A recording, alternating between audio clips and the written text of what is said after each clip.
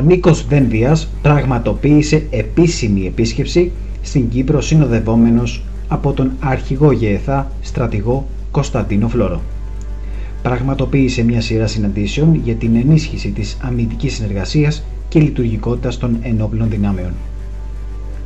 Μην ξεχνάμε ότι οι Κύπροι συζητούν με το Ισραήλ για την αγορά ενός αριθμού μεταχειρισμένων αρμάτων μάχης Merkava Mark III, ενώ έχει ακουστεί στο παρελθόν για αγορά του συστήματος Iron Dome αλλά και Barak MX.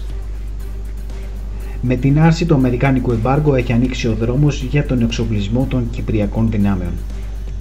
Η εποχή όπου κάποιοι θα ρίσκαραν με την Τουρκία τελείωσε και ελπίζουμε να μην την ξαναδούμε.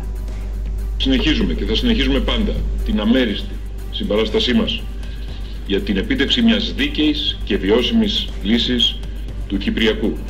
Μιας λύσης που θα βασίζεται στα ψηφίσματα του Συμβουλίου Ασφαλείας των Ηνωμένων Εθνών, μιας λύσης διζωνικής, δικοινοτικής ομοσπονδίας, συμβατής βεβαίως με το ευρωπαϊκό κεκτημένο. Και θα ήθελα να υπενθυμίσω την πάγια θέση μας ε, ότι για μας λύση δύο κρατών δεν υφίσταται, για μας η Κύπρος δεν κοίται μακράν.